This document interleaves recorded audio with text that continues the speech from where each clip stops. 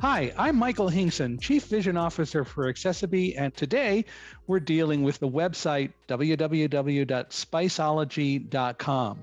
Spiceology is a website that has Accessibe's AI powered overlay. I use a screen reader called JAWS, J A W S, that is the product that verbalizes whatever text comes across the screen. And right now, I should be on the link that says recipes. Visited link recipes. I have Accessibe turned off. Enter loading page, navigation region, list.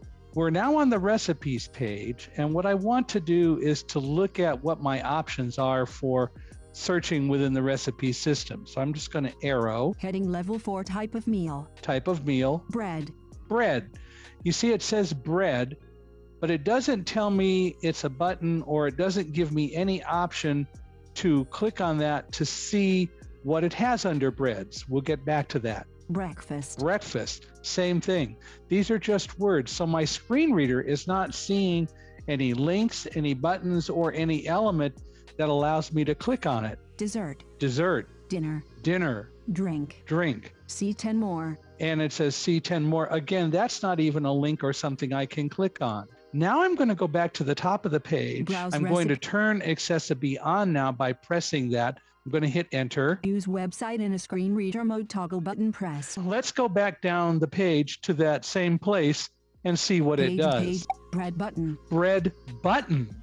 Now it's a button. Dessert button. Dessert button. As you see, the AI powered overlay has made this website a whole lot more usable.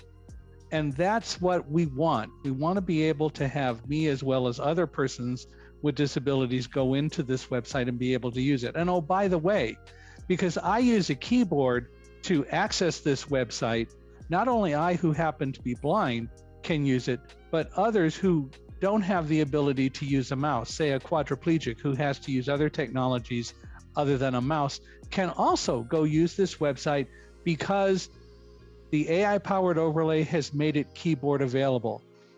I'm Mike Hingson, Chief Vision Officer for Accessibe. Glad you joined us today.